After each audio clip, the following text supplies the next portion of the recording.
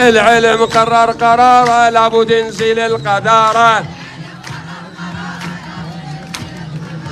كتب ممزقة وصفوف بلا مقاعد ومدارس أصبحت مرتعا للأغنام أو مأوى للكلاب الضالة.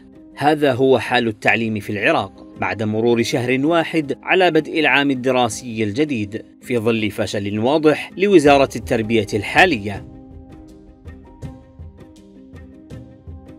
إعلان وزارة التربية الحالية عن إكمال استعداداتها لاستقبال الطلبة هذا العام جاء مجاف للحقيقة فالمدارس تشكو من اكتظاظها بالطلبة وتشكو الأخرى من خلوها من مقاعد الدراسة بعد التحاق نحو 13 مليون طالب إلى مقاعد الدراسة وهو أعلى رقم يتم تسجيله في العراق. مع حاجة البلاد إلى نحو تسعة آلاف مدرسة بحسب وزارة التربية نفسها واستمرار الدراسة في المدارس الكرفانية المتهالكة. على الرغم من مخاطرها فضلا عن وجود الكثير من المدارس التي تلكأ بناؤها بسبب فساد الحكومات المتعاقبة وإهدارها للمال العام.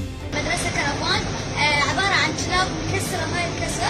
آه، داخلها كلها و أزمة نقص المدارس في البلاد ليست بأفضل حال من ابتزاز الملاكات التعليمية وتحصيل رشاوى لنقل المدرسين من مدارسهم مقابل أربعة آلاف دولار من خلال ملف تسوية الملاكات التعليمية من وزارة التربية بعد أن خضع الملف لأغراض انتخابية وسياسية بحتة واستثناء بعض المحافظات من ملف التسوية بالرغم مما تعانيه من نقص حاد في الطواقم التعليمية. طبعا المناشدة وصلتني في قرتب عن طريق أولياء أمور الطلبة يشكون من عدم وجود كادر.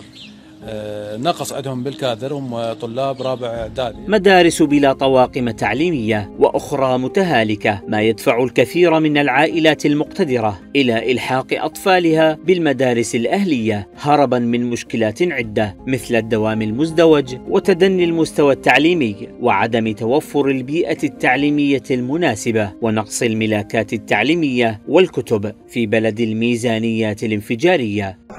لابني هاي وانت تريد تعلم اجيال تخليها دكاتره تخبط تعيشه وزارة التربية في مقابل ضيق يد أولياء الأمور عقب انخفاض قيمة الدينار العراقي مقابل الدولار والأوضاع الصعبة المترتبة على ذلك عند الأسر العراقية. فبعد إعلان وزارة التربية الحالية تأمين الكتب المدرسية ودعوتها لأولياء أمور الطلبة بعدم شرائها من السوق السوداء ظهر زيف مزاعمها مجددا بعد تسليم الطلبة كتبا ممزقة وأخرى تالفة لا تصلح للدراسة. فضلا عن النقص الكبير في الكتب ما حال دون تسليمها كاملة للطلبة.